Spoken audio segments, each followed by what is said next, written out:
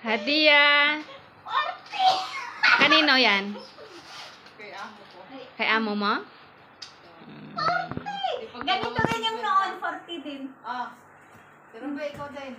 Ako din. Hmm. Salamat. Salamat sa hadiah. Salamat, Madam Moza. Bakit wala, wala kayo na? Mamaya pa yan. Ah, ayan. Binati ko nga siya, pati yung amo niya at Ruby, wala sabi. Pa dalawa, pa. Bilangin natin. Bakit ibang kulay sa'yo? Mga formal. Bakit? Mga ano. Bakit ibang kulay sa'yo? Tapos makapal siya. Bakit yung sa akin green? One, dalawa, three, apat, anim, pito, walo, siyam. Hala, bakit siyam sa'yo? Sa akin apat lang. Tapos ang kulay niya iba. Anong klaseng pera ito?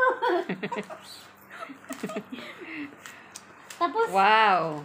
hindi na kulay pula ang sobra. Ang dati- kapal naman ng iyong Eh, pero mo. hindi ko ito masuot sa Pinas. Pinagkasiyahan ko namin. Nabitot. Hindi natatanggap sa noon. Hindi pwede ito suotin sa Mindanao. Eh, yung- Ramadan na lang lahat. Si ano? pera. Si Madam Isa.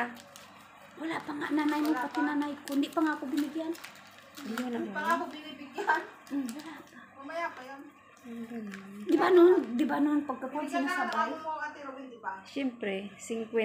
Naku, wala pa. Yung mag-asawa sa akin, wala pa talagang bigay sa akin. Minsan.